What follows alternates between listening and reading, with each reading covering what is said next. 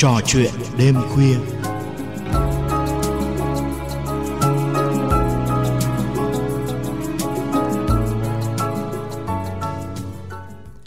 Quý vị và các bạn đang đến với chương trình Trò chuyện đêm khuya. Chương trình giao lưu, chia sẻ và tư vấn những khúc mắc tâm lý trong cuộc sống thường nhật của mỗi người. Và chương trình được phát thanh trực tiếp trên kênh FM 99,9 MHz của Đài Tiếng nói nhân dân Thành phố Hồ Chí Minh trong khung giờ quen thuộc từ lúc 22 giờ đến 23 giờ tối thứ sáu mỗi tuần. Các thính giả khu vực đồng bằng sông Cửu Long có thể nghe chương trình qua làn sóng là FM 103,2 MHz. Các thính giả khu vực Đà Nẵng và các tỉnh miền Trung lân cận thì có thể nghe qua làn sóng là FM 96,3 MHz của Đài Phát thanh Truyền hình Đà Nẵng. Và đặc biệt là từ cuối tháng 9 vừa qua, kênh FM 99,9 MHz của Đài Tiếng nói nhân dân Thành phố Hồ Chí Minh đã được tiếp sóng trên Đài Phát thanh Truyền hình Nam Định ở làn sóng là FM 95,1 MHz. Vâng, Tối nay thì Sài Gòn đã mưa rất nhiều và hiện tại thì ở khu vực trung tâm thành phố, không khí của trời cũng đang khá se lạnh. Và Phú Sơn hy vọng rằng giờ đây thì chúng ta sẽ dành ra chút ít thời gian để cùng lắng nghe những chia sẻ của các thính giả đã gọi về cho chương trình qua số điện thoại là 08 39 101 101. Phú Sơn sẽ được nhắc lại, số điện thoại quen thuộc 08 39 101 101 và số điện thoại này chỉ nhận các cuộc gọi đăng ký của thính giả từ lúc 21 giờ đến 22 giờ tối thứ sáu mỗi tuần. Còn lại sau thời gian ấy thì số điện thoại này sẽ dành cho các chương trình khác. Mong quý vị thông cảm. Cũng sẽ được nói thêm là do hôm nay à, MC Phương Huyền, biên tập viên Phương Huyền bận một công tác đột xuất cho nên đồng hành cùng à, chương trình sẽ là Phú Sơn cùng chuyên gia tâm lý Lý Thị Mai. Còn bây giờ, xin bộ phận kỹ thuật cho chúng tôi kết nối với thính giả đầu tiên ạ. À. Alo. Alo. Vâng, chương trình xin được chào đến bạn. Bạn có thể giới thiệu một chút về mình đi bạn. À, dạ vâng, em là Trang ở Thanh Hóa, năm nay 19 tuổi ạ. Trang ở Thanh Hóa. Ồ, hôm nay là Trang đang gọi đến từ Thanh Hóa luôn hay sao ạ? À? Dạ vâng. Ừ, không biết là Trang đến với chương trình này qua bằng cách nào ha? Tại vì Phú Sơn được biết là Thanh Hóa có một tỉnh khá xa. Ờ, cũng một lần tình cờ thôi ạ. Đó là do bạn trai em ở bên nước ngoài và ừ. thường ngày thì mỗi tuần đều nghe cái đài tiếng nói này nên là có mách cho em và em cũng được gọi đến. Rồi xin được cảm ơn trang rất nhiều. Và bây giờ thì à, để không mất thời gian của trang trang hãy kể cái trường hợp của mình đi ạ. À. dạ vâng. Ờ, như em cũng đã nói thì em có quen với à, một anh chàng trên facebook và anh ấy đã có gia đình à, ly hôn vợ. Vẫn chưa ly hôn vợ nhưng mà cũng coi như là sắp ly hôn vợ rồi ạ. Ừ. và gia đình em anh có hai con và gia đình em về như là không đồng ý nên gây áp lực cho em. Ừ. Ờ trang có thể nói một chút về cái người đàn ông này được không? Anh ta bao nhiêu tuổi và anh ta hiện nay đang làm việc ở đâu? Anh ấy năm nay 35 tuổi ừ. và đang làm đang xuất khẩu bên nước ngoài ừ, cụ thể là xuất khẩu lao động ở đâu bạn? Ở bên Hàn Quốc Hàn Quốc. Nhưng mà anh đi làm như vậy thì ờ, vợ con của anh ở đâu con anh cũng ở quê ở Thanh Hóa. Ừ, có gần nhà bạn hay không? À, cũng gần. Ừ nhưng mà sau khi mà quen nhau qua Facebook như vậy thì uh, mất thời gian bao lâu thì bạn mới biết rằng ảnh là người đã có gia đình? Anh nói luôn ngay từ lần đầu tiên nói chuyện. Ừ lúc đó thì bạn có suy nghĩ thế nào? Tại vì khi mà chúng ta là một cô gái mới có 19 tuổi thôi mà chúng ta là bắt đầu nói chuyện qua Facebook với một người đàn ông đã có gia đình và có hai con đúng không ạ thì không biết là cái cảm nghĩ lúc đó của bạn như thế nào? Ừ. Alo? Vâng em nghe không biết lúc đó thì cái cảm giác của bạn như thế nào? Cảm nghĩ suy nghĩ của bạn như thế nào? Alo? Dạ vâng à trang ơi tại để cho không khí của chương trình được à, chúng ta chú ý tập trung hơn á thì bạn hãy tập trung vào chương trình nhé ừ, vâng. ừ thì hồi nãy phú sơn có hỏi rằng khi mà kết bạn giao lưu qua facebook như vậy đó thì khi mà anh ấy nói là anh ấy là một người đàn ông đã có gia đình và có hai con thì với một cô gái mới có 19 tuổi thôi lúc đó bạn suy nghĩ như thế nào? À, vì tình cờ lúc đấy là em đang nói chuyện là chỉ là bạn bè thôi. Nên em cũng nghĩ đơn giản là ờ, cũng mới đầu em đang nói chuyện với nhau thì không có ý định là tiến tới và chỉ có ý định chỉ có như một hai người bạn nói chuyện với nhau vậy thôi và dần dần thì hai người mới phát sinh tình cảm. Ừ. Rồi hồi nãy có một chi tiết mà phú sơn cũng chưa được nghe rõ lắm đó là bạn nói là gia đình hai bên đã biết nhau là sao bạn? Tức là ngày trước thì uh, em với anh quen nhau thì có nói với gia đình gia đình em không đồng ý. Ừ. Dạ vâng nên là nhưng mà sau một hồi thì một thời gian em và gia đình rằng co rất nhiều. Ừ, đấu tranh tâm lý cho nên là mẹ em cũng đã quyết định là để cho em và anh ấy được tìm hiểu. Ừ. Nhưng mà khi đồng ý rồi thì mẹ em lại có vẻ như là uh, không có ngăn cách trực tiếp mà là cứ đưa vào những cứ thỉnh thoảng cứ hay nói những câu mà để cho chúng em tự chia rẽ ra. Ừ ừ, còn nói xích rất là nhiều nên em cảm thấy rất mệt mỏi Vâng và có thể nói là qua những chia sẻ của bạn thì à, Phú Sơn và chắc hẳn là quý vị các bạn cũng đã hiểu được một phần nào câu chuyện của bạn. Và ngay sau đây thì à, xin mời bạn lắng nghe phần tư vấn tâm lý từ chuyên gia tâm lý Lý Thị Mai ạ. Xin được lời chào đến cô Mai ạ. Vâng, chào Phú Sơn. Alo. dạ vâng Alo cô chào con. vâng con chào cô ạ Con nghe cô rõ không? con nghe rất rõ Ờ, hôm nay cô xin lỗi là giọng cô hơi bị cảm ha. Cho nên là À. nghe chắc là nó sẽ không được bình thường. Tuy nhiên thì ở phía con á thì cô lại nghe nó hơi nhỏ. Con cố gắng nói sát vào ông nói ha. À, và Dạ cho cô vâng. nghe cho nó rõ ràng để cô giúp con nhá. Rồi, dạ vâng bây giờ cho cô hỏi thăm con là con 19 tuổi con đang còn đi học hay đã đi làm hả con? con đã đi làm được 3 năm rồi ạ Ừ, con làm sớm quá, làm công việc gì con nhỉ? con làm ở trong công ty may Dạ, à, công ty may. Hiện giờ công việc con có ổn định không? công việc của con hiện tại thì rất ổn định ạ Dạ, tốt rồi. Hiện nay con đang sống chung với bố mẹ đúng không con? con chỉ sống chung với mẹ thôi ạ À, con đang sống chung với mẹ. Với ai nữa con? Ừ. và một em trai nữa Ừ. Gia đình con có hai chị em thôi. dạ vâng À, em trai con bao nhiêu tuổi rồi?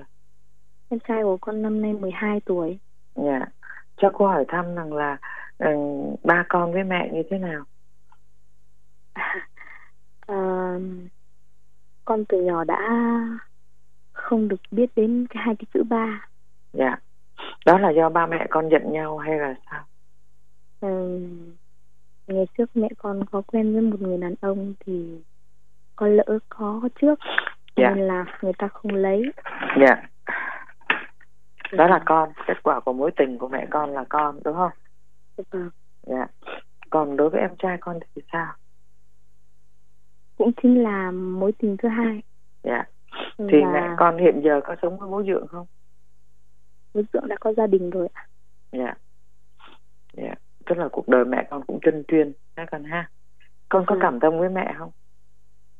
điều này thì con rất là cảm thông Dạ. Nhất là khi con yêu người có gia đình đúng không con? vâng ạ À, mẹ con thì ừ, biết chuyện này thì nói với con thế nào? mẹ con không đồng ý Dạ. thì mẹ con nghĩ là mẹ con thường hay nói là thà con lấy một người mà còn trẻ tuổi chưa vợ Dạ. và sau này ví dụ như cuộc sống của con có không được có, ví dụ như sau này con và cái người mà lấy trẻ tuổi đó Dạ. Nó không hạnh phúc Dạ. thì con cái sau này mẹ con bảo là sau này về đây mẹ sẽ nuôi hết chứ mẹ không bao giờ mẹ đồng ý cho lấy một người đã có một vợ và hai con Dạ. À, thì um, khi mẹ con nói vậy con cảm giác thế nào? sự thì con cảm thấy rất là buồn Dạ.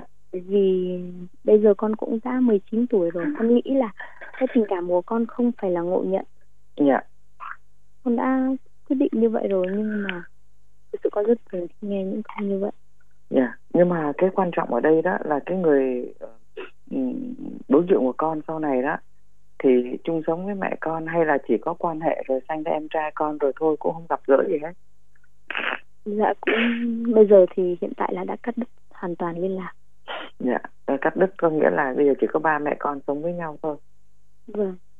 Và con nghĩ gì? Và con đối với con là một người con gái thì con gái với mẹ giống như là có một cái sợi dây rất là gần gũi.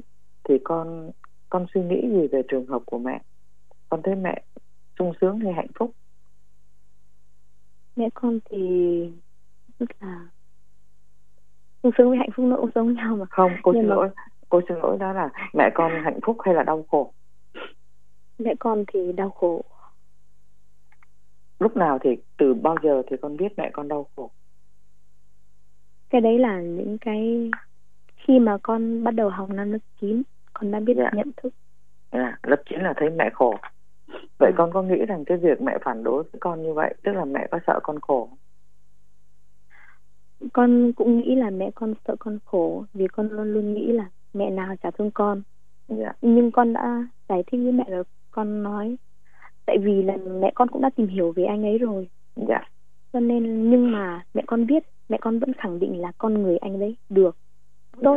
Mẹ con đã hỏi thăm rất là nhiều. Dạ. Nhưng mẹ con chỉ không chấp nhận anh ấy một điều đó là đã có một vợ và hai con. Dạ. Nhưng mà hiện giờ vợ anh ấy làm gì? Điều đấy con cũng không biết nữa.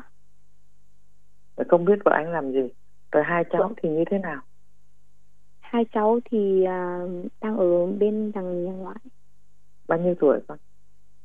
Ừ, hình như là đứa lớn 11 tuổi và đứa nhỏ là khoảng 6 hay 7 tuổi gì đấy. Dạ. Thế thì à, anh này anh ừ, cuộc sống của anh với vợ anh có hạnh phúc không? Dạ không ạ. Dạ. Không hạnh phúc bao lâu rồi con có biết không? Con nghĩ là cách đây là hai năm rồi. Ừ. và Bởi con vì, quen thì bao lâu? con quen được một năm dạ.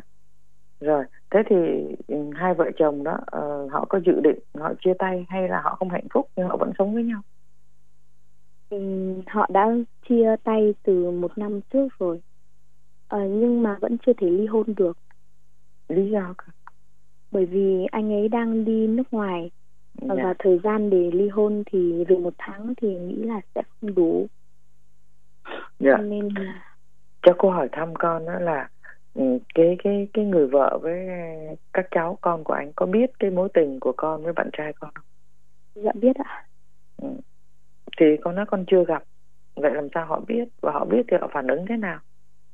Ừm, con thấy cũng không có phản ứng gì bởi vì à, khi bên gia đình đấy bên đấy thì người ta biết là do lỗi của người vợ Dạ. và không thể trách được anh ấy làm như vậy Dạ. Bây giờ vấn đề chỉ còn lại là vấn đề thủ tục thôi, đúng không? dạ vâng Rồi. Anh ấy đi lao động mấy năm rồi? anh ấy đi được 3 năm Dạ. Ba năm Bao giờ thì anh về? khoảng tầm hơn một năm nữa là anh về Dạ. Thế thì bây giờ đó con kiên quyết chọn người yêu. Vậy thì Vâng. trong cái tương lai con dự định như thế nào? Từ nay cho tới khi hơn một năm nữa anh về đó. Thì như thế nào? Con dự định như thế nào? Để nói về cái dự định này thì con vẫn chưa biết được. Bởi vì thực sự bây giờ con muốn sống yên ổn. Mỗi ngày đi làm về cả nhà vui vẻ nói chuyện với nhau. Rồi đến lúc anh ấy về thì anh ấy làm xong tất cả các thủ tục. Thì sẽ vào làm đám cưới nhưng mà bây giờ thì nó không được như vậy. Bây giờ mẹ à, cứ về đến nhà rồi mẹ cháu lại lấy đủ chuyện ra để soi mói rồi uh, nói những cái chuyện lặt vặt như nhà cửa thế này rồi lại nói sang anh ấy. Dạ. nên Thế là thì bây giờ hiện giờ là mấy mẹ con nó căng thẳng đúng không? Không có thoải mái. Em Ừ. trai con có biết chuyện gì không? em trai con thì nó biết vì nó cũng đã đủ lớn Dạ. Ừ, em có ý kiến gì về cái chuyện mẹ ngăn cản? thực sự thì mẹ cũng đang ngăn cản một năm trời rồi ngày trước thì bởi vì cháu quá là gay gắt cho nên mẹ cũng đã đồng ý nhưng mà bây giờ mẹ ngăn cản đã đồng ý rồi nhưng bây giờ mẹ lại cứ khích như vậy cứ khích về một bên như vậy thì khiến cảm thấy cháu rất là đau đầu Tức là Nó không đồng ý với cái mâu thuẫn với mẹ đúng không? Bây giờ mình Dạ đang vâng. mâu thuẫn với mẹ. Ờ, nó có hai vấn đề mà có lẽ con cần phải nói rõ hơn. Một là mẹ con không đồng ý, kiên quyết không đồng ý một cô con gái mới lớn lấy một người đàn ông đã có gia đình và à, coi như là cái cuộc sống hôn nhân nó chưa rõ ràng. Đó là cái Ừ. cái khả năng thứ nhất.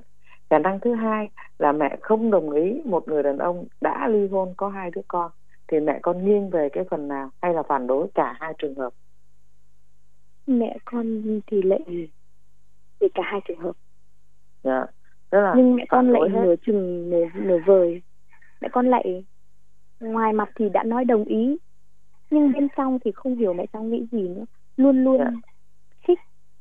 Khích luôn muốn hai người tự chia rẽ ra tự cãi nhau. Con có thể cho cô biết một chút không? Cái ví dụ coi.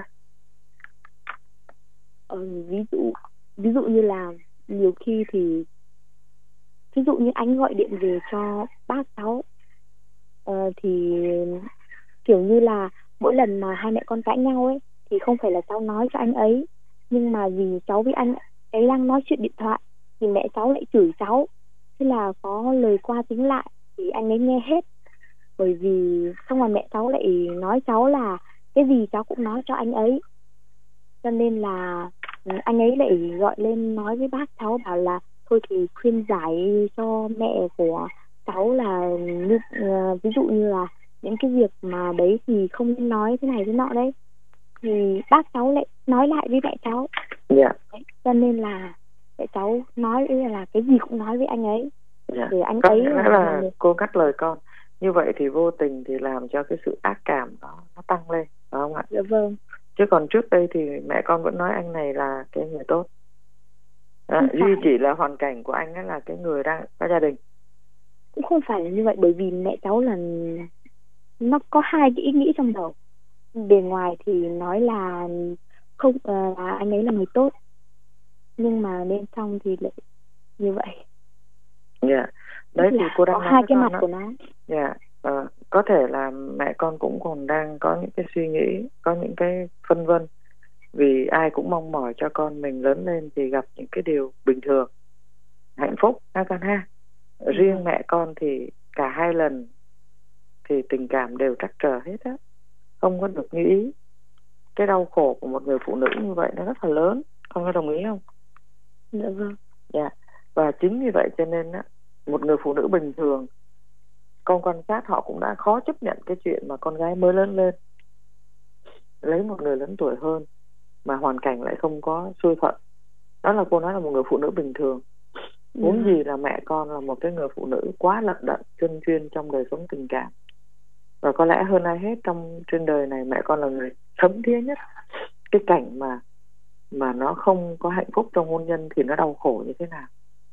Đó. có ai muốn là hai đứa con mà hai đời chồng đâu? Đúng không con? Rồi cái thứ hai nữa là cũng chẳng con cũng chẳng biết được mặt cha như thế nào. Cho nên á giữa những cái mà nó nó bộn bề nó đan xen như vậy đó thì bản thân mẹ con là một cái gương.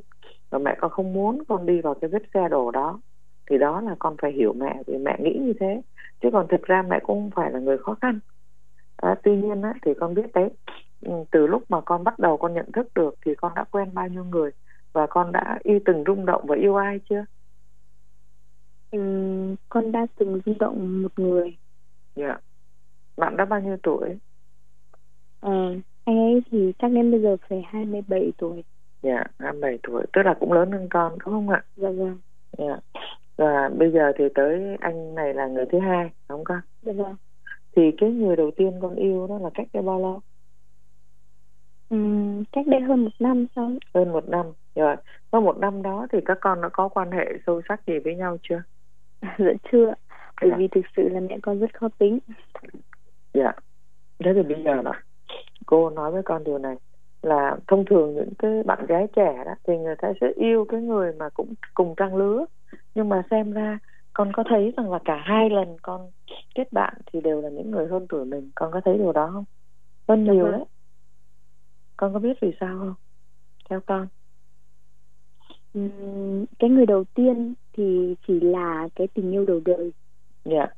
Vâng. Nhưng mà cái người thứ hai ấy dạ. thì con nghĩ đấy là chính là cái sự rung động của con thật sự. Thật sự đúng không con? Và Vâng. con có biết rằng là ừ, con lúc đầu chương trình con có nói rằng là từ nhỏ tới giờ con chưa hề biết biết đến tình cảm cha con đúng không con dạ vâng ừ. và thông qua những cái rung động đầu đời anh lớn tuổi hơn con cũng kéo dài hơn một năm với bây giờ đó là con quen anh này anh lớn tuổi hơn con rất là nhiều thế thì Ừ. con có có tìm thấy được cái hơi ấm cái sự ấm áp của cái tình cảm của một người lớn tuổi ở đó nó thấp thoáng một cái giống như một cái cái hình mẫu của một cái người bố không? Con có thấy tin cậy không? Ừm, con thật sự là rất tin cậy. Dạ. Vì anh ấy luôn luôn luôn luôn là như vậy và tình cảm của anh ấy thì luôn luôn là sự che chở. Dạ. Cảm thấy an toàn khi ở dưới cánh tay của anh ấy. Đó con được an toàn con được bảo vệ con được che chở không con? Dạ vâng. À, và đó chính là cái điều mà cô phân tích để con thấy rằng là con quyết tâm bảo vệ tình cảm của mình đó. để con hiểu thêm là tại sao con lại không chọn những bạn bây giờ 18, 19, 20 mà con lại chọn một cái người mà họ khi con ở bên họ con cảm giác được an toàn được bảo vệ được yêu thương và ở đó một cái sự tin cậy đúng không con vâng đó. và trong cái ứng xử của anh này thì anh có nói với con ngay là anh có vợ có con rồi chứ anh không giấu con đó. Bây giờ thì vấn đề còn lại nó có hai vấn đề mà con cần phải lưu tâm. Một ấy là đối với anh ấy hơn một năm nữa anh về thì anh phải giải quyết cho nó rõ ràng về hôn nhân. Vâng tại vì rõ ràng là ừ, họ đã đã chia tay nhau theo cái cách người ta gọi là ly thân đó, vì anh đi lao động mà. Đó ạ để coi như đã ly thân lâu. Nhưng ly thân chưa phải là cái gọi là uh, hợp thức hóa để mà có thể đi bước nữa mà chỉ có ly hôn thì hôn nhân không đạt hạnh phúc thì tòa án cho ly hôn. Và khi nào có quyết định ly hôn rồi thì lúc đó mới có thể danh chính ngôn thuận đến với một người nào đó. Con đồng ý như vậy không? Dạ vâng. Đó thế thì như vậy nếu như mà chương trình của chúng ta anh thường xuyên anh nghe đấy thì tối nay anh cũng sẽ biết anh sẽ làm gì để không có cái phụ lòng cái sự tin cậy của con. Dạ vâng. Đó và cũng không phụ cái tình cảm con dành cho anh ấy nhiều trắc trở. Con có nghĩ như vậy không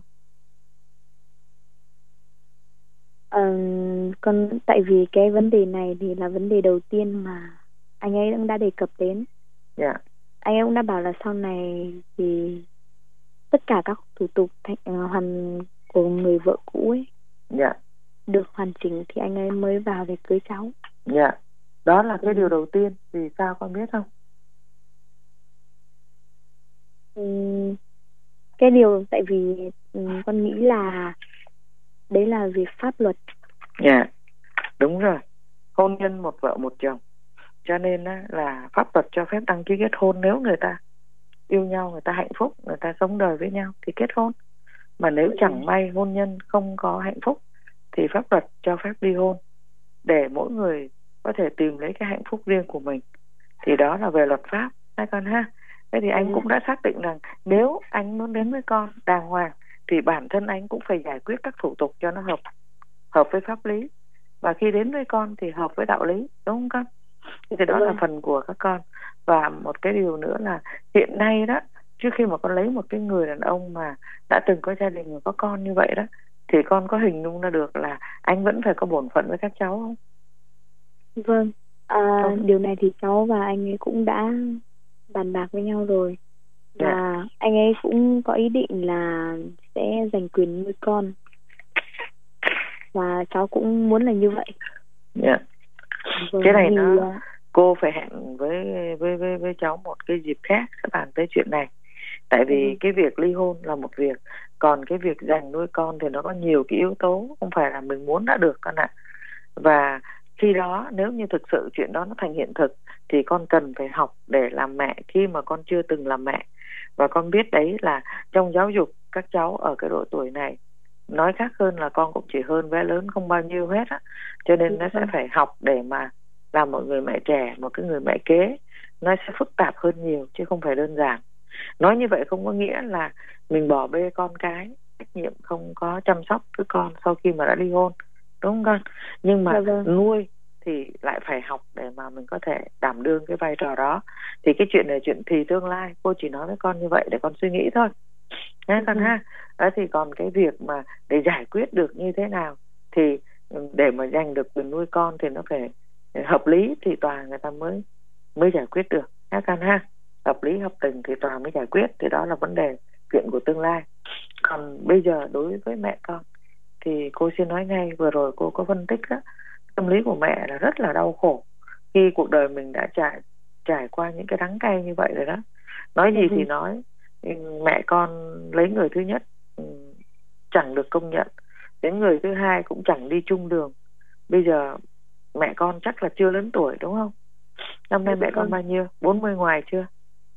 À, mẹ con năm nay tầm 41 42 rồi đấy. Dạ, đấy, thế thì con cứ tưởng tượng coi một cái người phụ nữ còn rất là trẻ mà hai đời chồng, hai gọi là con cứ tạm tạm gọi như vậy cho dễ hiểu ha, dạ vâng. Hai mối tình và hai đứa con.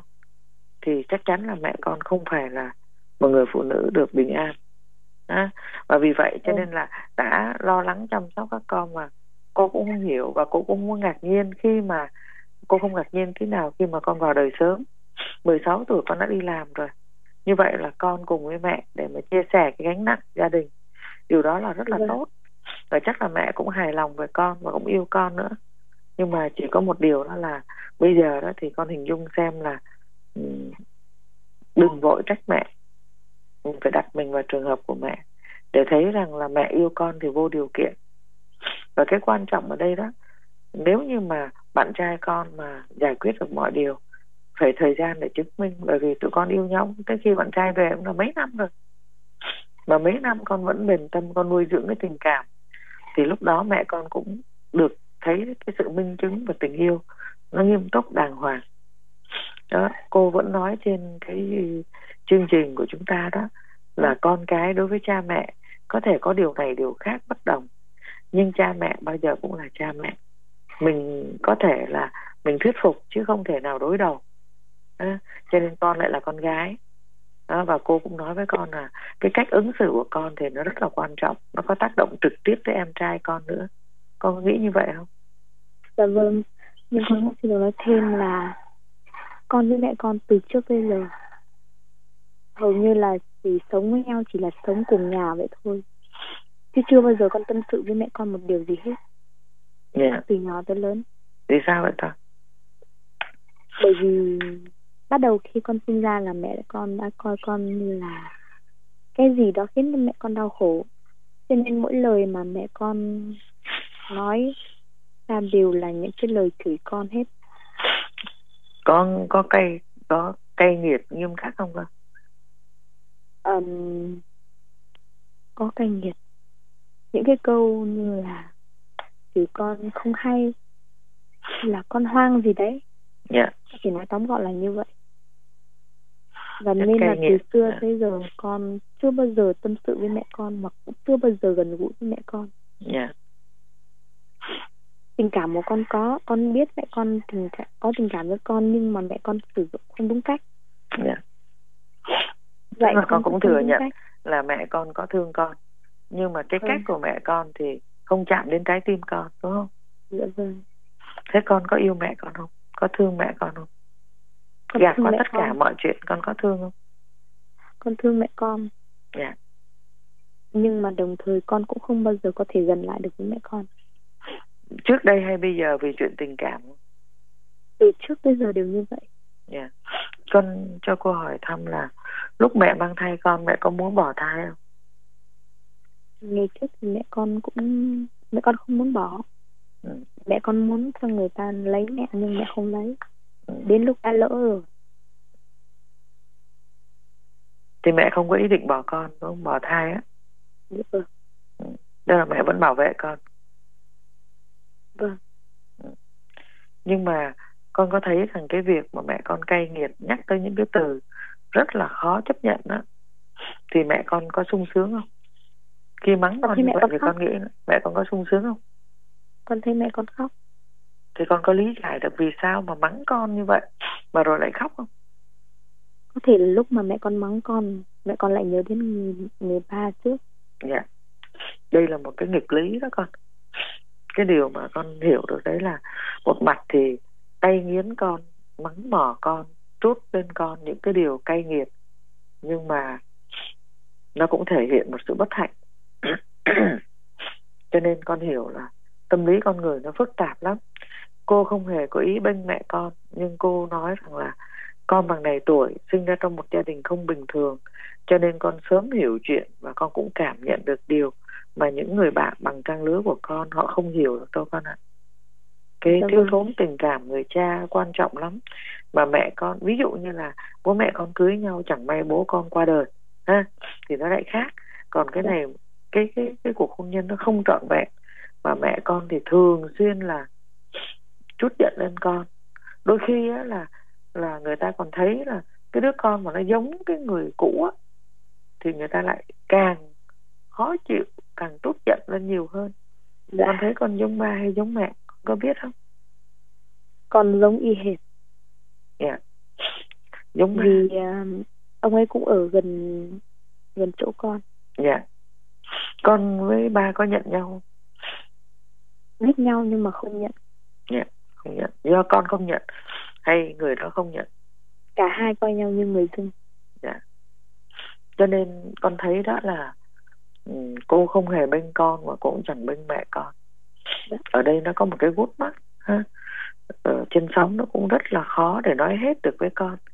Nhưng cô chỉ nói với con rằng là mẹ có nỗi khổ của mẹ và con có nỗi khổ của con. Không đó không phải là cái mà con muốn hỏi.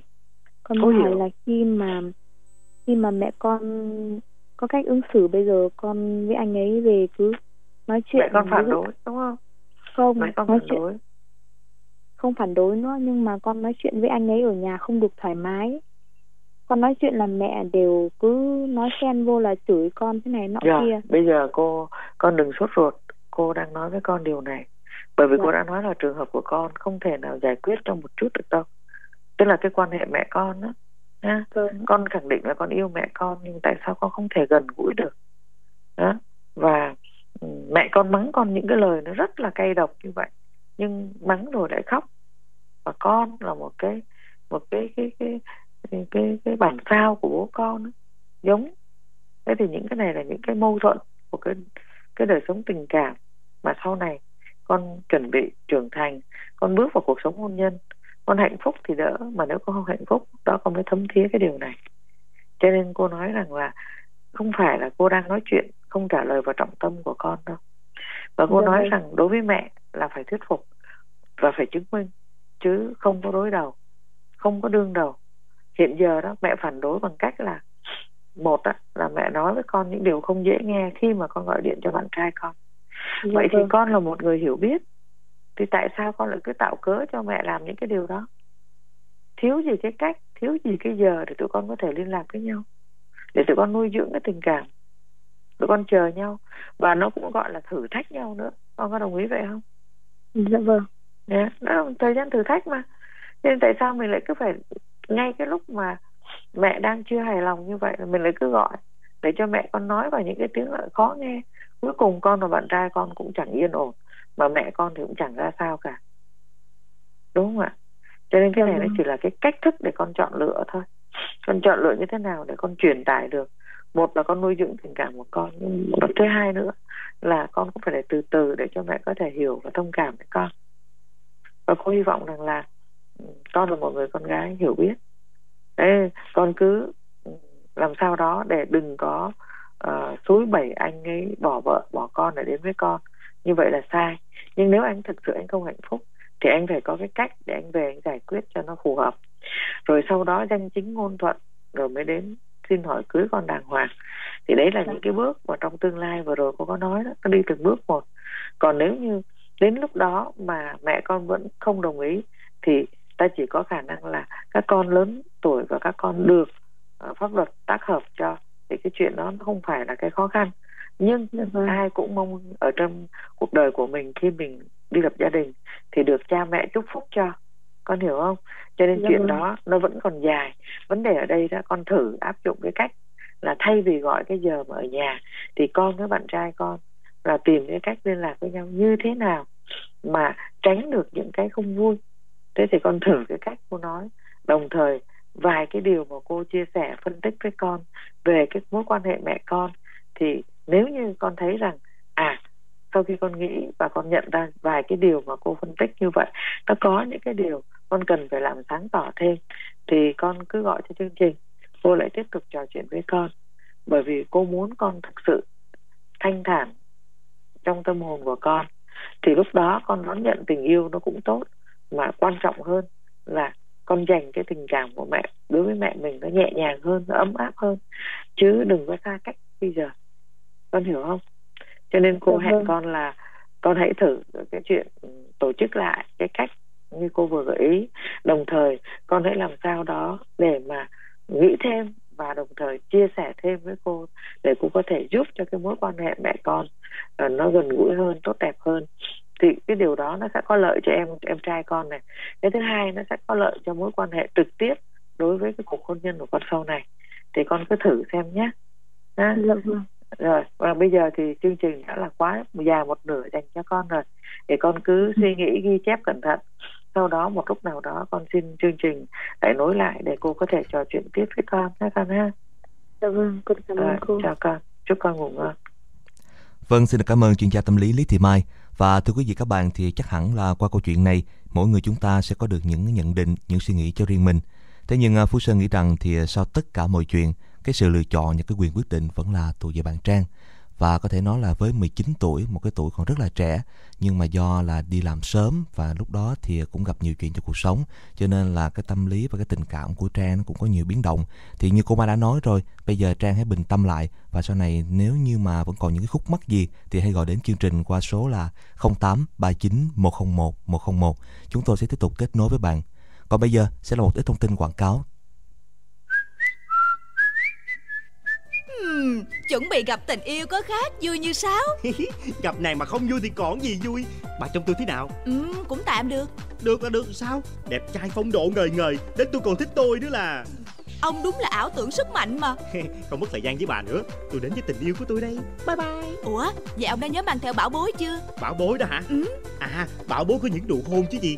Đây nè Xịt thơm miệng thảo dược G Relax. Lúc nào chẳng có bên người. Xịt thơm miệng thảo dược G Relax Với tinh chất bạc hà, trà xanh, cúc hoa, lô hội. Nhanh chóng khử các mùi khó chịu như thức ăn, hành, tỏi, hải sản, hôi miệng Ngăn ngừa sâu răng viêm lợi. G-Relax cho hơi thở thơm mát tức thì Tự tin lôi cuốn người đối diện. G Relax dạng chai nhỏ gọn Tiện mang theo người Sử dụng trước khi giao tiếp nói chuyện. Xịt thơm miệng thảo dược G-Relax Thơm mát tức thì, ngại gì khoảng cách? Sản phẩm có bán tại các nhà thuốc và siêu thị trên toàn quốc Một ngày mới nắng lên Em giang tay chào đón. Ai mà yêu đời vậy ta? Tôi mà lúc nào lại không vui? Ủa cái chuyện gì mà mặt bà buồn thiêu vậy? Thì dạo này nóng nực Nên lúc nào cũng thấy ẩm ướt ở vùng kính Lại có mùi khó chịu nên. À tôi biết rồi Chuyện phụ nữ ấy mà. Tôi cũng có khác gì bà đâu Nhưng sau khi sử dụng dung dịch vệ sinh phụ nữ dạ hương Mới tự tin sải bước như vậy nè. Ừ nhỉ, sao tôi không nhớ ta? Đâu, bà nói rõ hơn tôi nghe coi Lắng tai mà nghe nè Ừ. Dạ hương là sản phẩm số 1 trong dòng sản phẩm vệ sinh phụ nữ Chuyên dùng để chăm sóc và vệ sinh dùng kính hàng ngày Do công ty Dược Qua Linh sản xuất Với thành phần thảo dược, vitamin E và muối Dạ hương an toàn, hợp sinh lý với phụ nữ Á Đông Giúp thoáng sạch khử mùi dùng kính Phòng ngừa viêm nhiễm nấm ngứa Bà biết không, dạ hương là sản phẩm duy nhất được nghiên cứu và chứng nhận an toàn tại Bệnh viện Phụ sản Trung ương nên hoàn toàn yên tâm khi sử dụng đó. Vậy mà không cho bạn bè hay Thôi, tôi về đây, Ừ. sẵn đi mua dạ hương luôn À hả? Dạ hương giúp phụ nữ thêm khỏe mạnh, tự tin và hấp dẫn.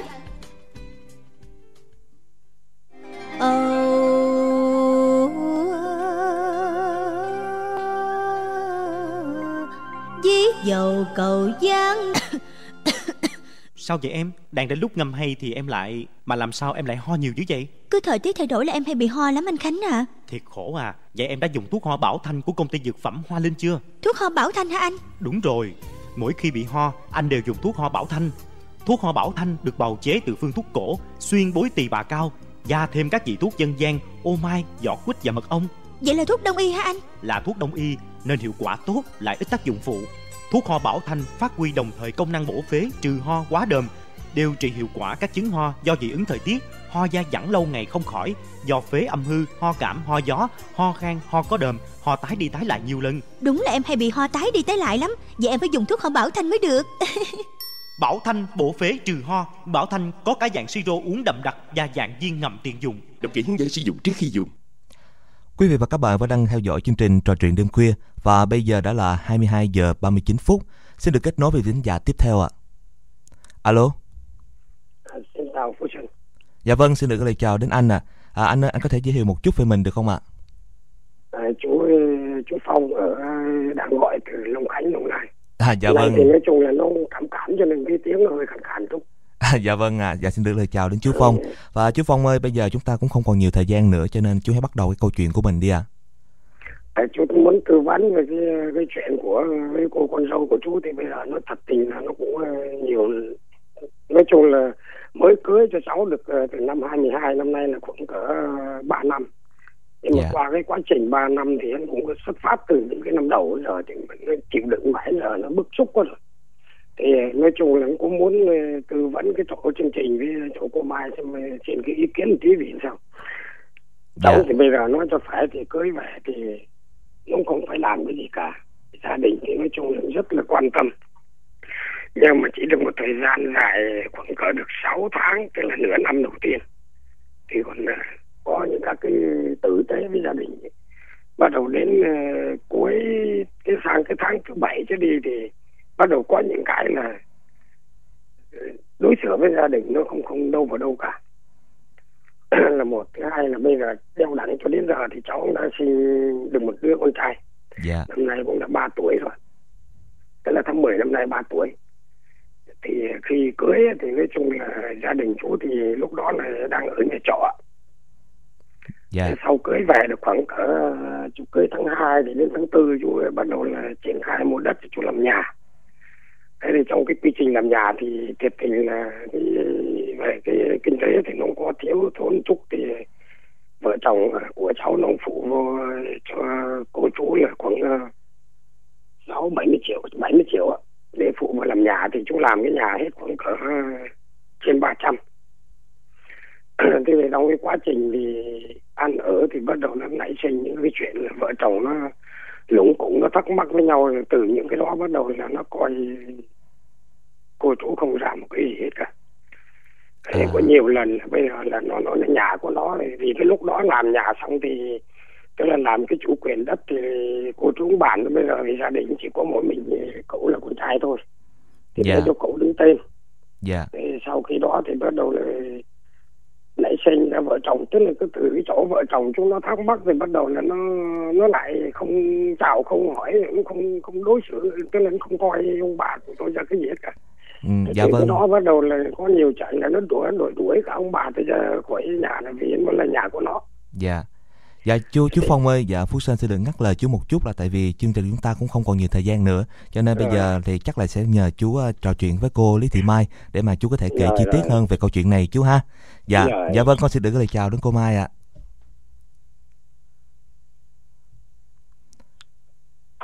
Vâng, có thể là có do một chút trắc kỹ thuật. Vâng, dạ alo. Dạ, cảm ơn Phú Xuân. Dạ vâng, dạ. Dạ, chào chú, tôi đang nghe đây chú à. À, Chú nghe tiếng tôi rõ không? có nghe nghe rõ chị Mai rồi. Dạ. Ờ, hôm nay chú nói chú bị À, cảm. thì nói nói chị Mai hôm nay thì nói chung là mấy, mấy ngày nữa nó đang cảm xong mà cái tiếng nó khàn khàn chứ chị cũng cũng Dạ, không ờ, sao, vì không sao, tôi còn đang xin lỗi thính giả đang nghe chương trình là hôm nay tôi À, cũng bị cảm. nói chung là hôm nay Dạ. cho với chương trình ờ, Dạ. cho giao lưu là thấy nói là rất là phấn khởi Dạ, và vâng. mừng rồi Dạ, thì dạ, trong cái dạ. rồi thì bây giờ ờ, Tôi đang nghe cái tâm ờ, sự của chú đó. Dạ, tôi Dạ. đang nghe tâm sự của chú và tôi hiểu rằng là ừ, cô chú cũng đã trải qua nhiều cái khó khăn cực nhọc.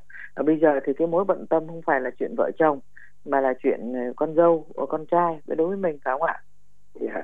Dạ, thế bây giờ đó là cho tôi hỏi thăm một chút là cô chú năm nay đã được bao nhiêu tuổi rồi ạ? Năm nay năm tám Dạ, cô ấy bao nhiêu ạ? cô ấy sau một tuổi năm bảy Dạ, năm bảy tuổi. Cô chú cưới được ờ, bao nhiêu năm tất cả rồi? Ừ, thế là tuổi em hả Dạ vâng. em thì cưới từ năm ờ, tám mươi Dạ, như vậy là uh, 35 năm rồi ha chú ha. Dạ. Thế được ờ, cô chú được mấy cháu tất cả nào? có ba cháu thì cháu ờ, gái đầu đến đến cậu con trai thứ hai đó rồi đến Dạ. cô út Dạ, như vậy là cháu gái đầu khoảng 34 tuổi ha. dạ. Rồi cháu thứ hai con trai đó mà chú đang đề, đề cập tới đó là cháu khoảng bao nhiêu? 30 chưa? năm, năm nay ba mươi chị nó nó sinh Dạ. năm năm sáu đầu Dạ. đầu năm năm sáu Dạ, là 29 đó, ha, 29 tuổi. Rồi còn cháu cháu dâu đó, năm bao nhiêu tuổi? Các cháu được bao nhiêu tuổi? rồi thì hai đứa nó cùng đồng tuổi luôn đó Dạ vâng. À, hai vợ chồng cháu là đồng tuổi. Rồi út của chú là gái hay trai? út là con gái chị năm nay cháu Dạ. nó hai mươi hai Dạ, như vậy là cháu còn đi học không hay là đã đi làm rồi? cháu nó học xong nó đi làm gì Dạ, tốt rồi. Nhìn vào hoàn cảnh của chú hiện nay thì ổn ha. Cháu gái lớn cũng lập gia đình rồi đúng không? dạ Dạ. Thì còn lại một cháu gái út thì út cũng đang đi làm. Còn hai Dạ. vợ chồng cháu trai, con trai duy nhất á, á, là các cháu nó được một cháu trai được 3 tuổi. Như vậy là đã có đích tôn rồi đó đúng không? dạ dạ Dạ. Thế thì à, tôi nghe giọng chú thì như quê gốc của chú là ở ngoài Bắc phải không ạ? dạ em ở thanh hóa. Dạ, ở gốc Thanh Hóa. Hôm nay là tôi tiếp chương trình thì được cả hai vị thính giả đều là quê Thanh Hóa cả. Thế thì cô chú vào trong này lâu chưa? em sẽ đi ờ, lính rồi xong rồi về coi như một thời gian rồi bắt đầu là chuyển ờ, ở đây luôn. Rồi đem cả vợ con vào. Lúc đó thì con đầu là sinh rồi bắt dạ. Năm 84 bắt đầu đem gia đình vào đây. Dạ như vậy là 1984 là mình vào Nam. Dạ Ờ, và từ đó thì bây giờ lập nghiệp thì xin hỏi chú là về ở Long Khánh Đồng Nai thì cô chú ờ, hiện giờ có còn làm gì không? em ờ, làm ở phường nhưng mà vừa rồi nghỉ rồi Ờ, Dạ. còn bà xã thì bây giờ bà buôn bán chợ Ờ, chú mới nghỉ là nghỉ theo chế độ đó phải không ạ? nghỉ một lần chưa Dạ vâng. Thế thì vợ chú thì cô vẫn còn đang buôn bán. Thế dạ kinh tế gia đình có đủ sống không? Nói chung là nếu mà so với người ta thì đủ đủ sống chứ thì Dạ. tụi em cũng chẳng có lương lá gì đâu nhưng mà nghỉ có lần rồi. Dạ. giờ rồi. lại cũng phải bơi trải Dạ, tức là vẫn phải lo lắng nhưng mà dạ. nói chung là tạm ổn. Thế cho tôi xin hỏi là cháu trai duy nhất của chú đó hiện giờ có ở chung với cô chú không?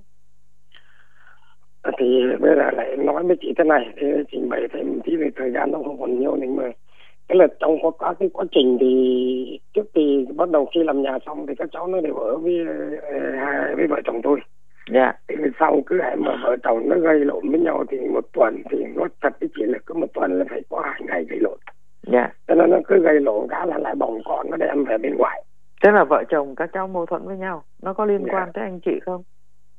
Thì từ cái chỗ nó mâu thuẫn vợ chồng bắt đầu là nó không bao giờ nó hỏi đến thì tôi hết đi nó về thích đi thì nó đi mà thích thích về nó về nó làm như Dạ. kiểu nhà là cái kiểu nhà trọ Dạ, cho tôi hỏi thăm uh, cô chú đó. Ừ, thì trước cái lúc mà mà ừ, cô chú làm nhà đó thì các cháu nó ở có vui vẻ không? không lúc đầu thì nói chung nó về thì nó vui vẻ thôi chứ không có gì chị Dạ. Thế thì chú có nghĩ rằng là khi mà các cháu nó có đóng góp trong cái việc mà sửa nhà làm nhà đó Dạ. thì ừ, rồi cô chú đã trả hết cho các cháu chưa? thì cái này thì nói cho phải thì thường thường người bắc thì nói là bây giờ thì thôi có mình cậu thì bây giờ nhà thì nhà thì trước sau không có cậu chứ đâu có phải cái mình có đem lên được đâu chị Dạ. Nhưng mà Thế ở thì đây à, tôi muốn em cứ là nghĩ như vậy thành thử ra là không có những các cái chuyện để mà mình cũng lại vô cái đó tư phải không ạ mình Dạ. cũng vô tư tại vì chú có nói một câu là ừ, lúc đầu thì cháu dâu nó cũng được lắm nhưng mà sau đó thì thấy nó có cái gì đó không vui. Thế thì tôi chỉ hỏi chú là mình đi tìm cái nguyên nhân. Tại vì con người ta thì, thì cháu nó cũng tốt lành thì chú mới mới mới mới cưới về làm dâu. Rồi con trai chú mới chọn cô ấy không phải chọn người khác. Thế thì cái sự tốt đẹp đó thì tại sao bây giờ lại lại không đạt được cái điều mình mong muốn? Cho nên tôi với chú đang cùng đi tìm cái nguyên nhân đó mà. Thì một Dạ, trong dạ. những cái điều đó mà tôi muốn hỏi chú đó là phải chăng là bây giờ các cháu nó không còn ở chung với chú nữa các cháu nó ra riêng thì hoàn cảnh Dạ. kinh tế của các cháu nó như thế nào? Chứ nó thì nói cho phải vợ nó thì nó làm công ty nước ngoài thì chắc tháng nó cỡ thì theo em đừng nghe thôi chứ thực chất thì cũng, cũng không không bao giờ được biết cái chuyện đó nhưng nghe bạn bè của nó nói tháng nó bảy tám triệu là cái con vợ dạ dạ. Còn mình chồng thì nó chạy taxi thì nó tháng nào mà được nhiều nhiều cũng cỡ 10 triệu dạ. Như Nhưng vậy là hai vợ thì- chồng cháu có mua nhà không? Có làm nhà không? Không cái là cái này nó đang sang nó ở bên ngoài chưa à tức là băng về ở bên ngoài. Dạ. Ờ, thế có bao giờ các cháu nó đặt vấn đề nó sẽ làm nhà không? Không cũng Nó chưa mua giờ nhà. nghe nói như vậy. Dạ. Có bao giờ là là chú nghĩ rằng cháu nó sẽ đặt vấn đề nó sẽ mua nhà? Thì, thì theo em nghĩ thì bây giờ chắc cũng cứ nói là bây giờ là hai vợ chồng làm không đủ tiền để nuôi con thì dạ chứ dạ. thực chất thì cháu con thì cháu thì nó cứ đem về đây rồi ông bà thì em giữ chứ chứ có bao giờ nó đem tiền đem bạc về nó nói là nó phụ họa gì đâu Dạ, Thì tôi hiểu. đó thì không biết có nhiều ít hay là nó có Dạ. hay không thì cái đó nhưng cũng không mà nắm được dạ vâng cái quan trọng nhất là thế này là cô chú có thấy các cháu bây giờ đó tức là mình không vui về con dâu đúng không ạ lòng mình Dạ. không vui nhưng mà vợ chồng cháu hiện giờ nó có hòa thuận và nó có hạnh phúc không thì cũng xin thưa với ờ, chị Mai là bây giờ là mới chưa được 3 năm trời nhưng mà ra tòa ba lần rồi thì tòa cũng hòa giải thì lại quay trở lại chứ thực chất ra bây giờ cũng không có lúc nào thì hạnh phúc đâu chị ơi dạ thế thì Dạ. bậc làm cha mẹ chú có mong muốn điều đó xảy ra không? Không thì cũng không bao giờ muốn như vậy nhưng mà bây giờ nói cho phải là cái cái, cái cô dâu bây giờ cô hổn quá. Dạ. Nó thật, thật tình với chị là nó đi thì nó đi nó về nó về lâu lâu. Ví dụ nó gửi con bên đây nó sang nó bồng con nó về chứ không bao giờ nó hỏi tụi vợ chồng em miếng nào đâu. Dạ. Thế thì ở nhà đó cô ấy có bao giờ nhận xét gì về con dâu vợ chú ấy không bà xã em thì lại bảo rất lành mà đã đến mức cái độ lành như vậy mà bị vẫn bị nó thở và rồi thế bây giờ đó tôi đang nói với chú là chú nói rằng là uh, cháu nó có cái nói năng với chú không phải phép đúng không ạ? Yeah. Nhà hôm đó là cháu nó có lý do gì mà tự nhiên cháu lại cư xử với chú như thế? Và có thường xuyên như vậy không chú? Không nói chung nói thật với chị là cứ hãy vợ chồng nó gây lộn nhau là hầu như là nó không bao giờ nó hỏi đến với ông bà em tí nào dạ chứ còn bình thường thì không sao phải không ạ? Không bình thường cũng vậy và nói chung là chỉ được có 6 tháng đầu nó mới về làm dâu thôi chứ còn bắt đầu từ tháng thứ bảy cho đi là nó không bao giờ nó hỏi đến ông bà thì em cứ đi thì nó đi nó về nó về. Rồi nó làm như cái kiểu là người ở đâu về. Rồi cho tôi hỏi thăm là bên nhà ngoại thì cái việc mà cháu nó ở mấy năm nay ở bên đó thì các cháu nó có thuận thảo với nhà ngoại không? Bên ngoài thì nói chung riêng về tức là tôi tìm hiểu cái chỗ mấy ông anh vợ với mấy ông cậu em vợ em em cái cô đó thì người ta lại rất là quý phục cái cô ông con trai nhà tôi. Thì sao sang đó nó tự tới đâu đó thì ông bà không có chê được miếng nào. Dạ. Ông bà ông bà vẫn cứ nói là bây giờ là con tại con gái nhà ông bà nó hỗn vậy đó.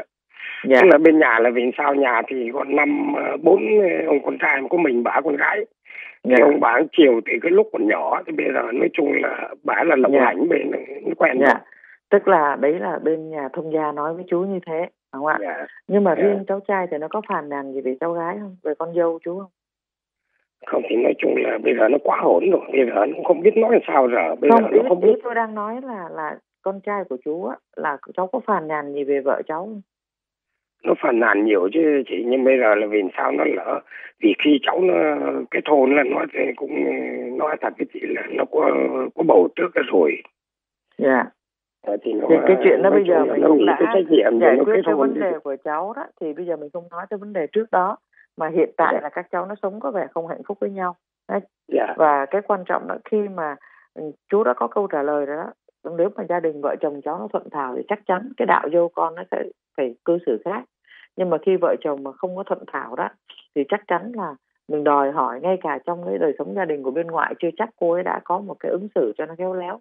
Huống gì là bên gia đình bên chồng. Cho nên từ cái chuyện này chú cũng có cái câu trả lời rồi. Tức là chú đừng có bực bỏ gì về cái chuyện là nhà trọ hay là nhà thuê mà cái quan trọng ở đây tôi có nhắc chú một điều đó là tiền thì tiền của con cái mình. Nhưng mà người ta hay nói đó dân gian nói rằng cái gì của cha mẹ là của con nhưng cái gì của con cái là của con cái chứ chưa phải là của cha mẹ. Cho nên tôi chỉ nhắc chú cái điều đó để mình sắp xếp để rồi nếu như các cháu nó thuận thảo thì không nói gì mà các cháu nó không thuận thảo thì cái việc mình trả lại cái tiền cho cháu lúc mà mình làm nhà đó thì nó cũng khỏi mang tiếng về sau này. Đặc Dạ, biệt dạ. đó là cái chuyện nếu nó là một trong những cái yếu tố có thể góp phần làm cho cái cuộc hôn nhân của cháu nó xấu đi đó thì á nó phải giải tỏa được cái chuyện này. Cái kèo là mình lại mang trong chỗ vô tình mình mang tội chứ ạ. Cho nên đó là Dạ, cái thì, điều ờ, mà tôi chia sẻ với chú đấy. thì, thì dạ. cho em các cái chỗ này thì vì dạ. vợ chồng vợ chồng em cũng đi, nói chung là cũng để ý đến cái việc này rồi. Bây giờ nó Dạ. thật tình là chúng, chúng em cũng muốn gửi lại cái tiền này cho cho nó nhưng bây giờ là qua cái quá trình làm nhà thì nó thật với chị là anh có những cái em cũng thiếu chỗ này hụt chỗ kia Dạ, tôi nói- hiểu. Thôi tôi tôi hiểu chú và tôi nói với chú là không phải mình ngay lập tức mình trả ngay cho các cháu đúng không ạ nhưng nếu Dạ. như nó là nguyên nhân thì mình phải khắc phục sớm còn nếu như không phải vì cái chuyện này mà các cháu nó không có hạnh phúc nó mâu thuẫn nó lục đục thì cái việc cha mẹ mình có mình cho con không tiếc mà huống gì là Dạ. mình mình trả lại cho con phải không ạ thì cái Dạ, chuyện đó dạ. tôi đồng ý với chú là không phải là ngày một ngày hai mình làm được nhưng đó cũng là một điều mà chú cần phải lưu ý giúp tôi về chuyện đó. Điểm Dạ, tiếp dạ. theo mà tôi muốn nói với chú đó là hiện giờ đó ờ, cái chuyện cháu trai nó cũng rất là khổ tâm. Mà chú đã nói rằng là các cháu đã ba lần ra tòa rồi thì cái điều đó nó cũng không phải là cái sự mà bình thường cho một cuộc hôn nhân đúng không ạ? Thì của Dạ, chú dạ. sống đời hôn nhân chú thấy rồi đó mình nghèo khổ tay trắng dựng nên bây giờ thì mình vẫn còn hủ hỉ với nhau. Nhưng mà các cháu nó lại có nhiều cái không có thuận lợi như vậy thì tốt nhất lúc này đó các cháu nó cũng chẳng có tỉnh táo gì đâu ừ, tôi chỉ đề nghị với chú là ừ, tôi chưa gặp cô ấy nhưng mà cô chú có nói một câu tôi rất là quý đó là cô rất là lành đó. thế thì ừ, ít nhất là chú cũng đã bức xúc về cái chuyện này nhưng mà đừng trong chỗ vô tình mình lại biến thành vì mình mà con cái nó có chuyện này chuyện khác thì nó tự Dạ, nhiên dạ, mình dạ. mang tội chứ ha cho nên bây giờ Dạ. đó là thời gian thì nó không còn nữa tôi chỉ nói với chú hai điều tuổi này của cô chú đó nó bước vào cái tuổi bắt đầu sức khỏe nó cũng yếu dần đi cho nên mình lo chăm sóc lo làm sao cho nó phù hợp với đời sống tinh thần của mình đặc biệt là đời Dạ. sống tinh thần đấy ăn thiếu Dạ, thiếu dạ. một chút không sao nhưng mà đời sống tinh thần mà mình không thoải mái là nó không có tốt cho sức khỏe cho nên điều đó mình phải lo mà mình giữ gìn đó là chuyện thứ nhất chuyện thứ hai là các cháu hãy để cho các cháu nó tự lập và chắc chắn rằng các cháu phải tự quyết định về cái quyết định về hôn nhân cũng như cái cuộc sống lâu dài của cháu sau này. Cái thứ ba là cô chú cố gắng làm sao đó để có thể tìm hiểu được những cái nguyên nhân mà gây xích mích các cháu. Và nếu như nó có liên quan tới vấn đề tài chính thì mình làm cho nó tròn phận sự đối với cha mẹ của người Dạ, cha dạ. người mẹ. Và cái cuối Dạ, cùng thì tôi chỉ nói với chú thế này là những cái gì mà mình cảm thấy mình mình chưa hài lòng thì hãy nhớ rằng là Ờ, mỗi gia đình đều có những cái sinh hoạt nó có nề nếp khác nhau, cho nên mình cũng phải thông cảm và hãy coi con đó là con mình thì mình có thêm một đứa con. Mà nếu như mà mình cảm thấy mình không có gần gũi được thì hiện giờ, đến lúc này thì pháp luật vẫn tồn tại thì cháu nó vẫn là con dâu mình.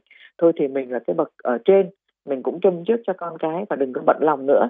Giống như cái cách sống của cô ấy là tôi thấy rằng là có lẽ mình cũng cần phải tham khảo hai chú ha.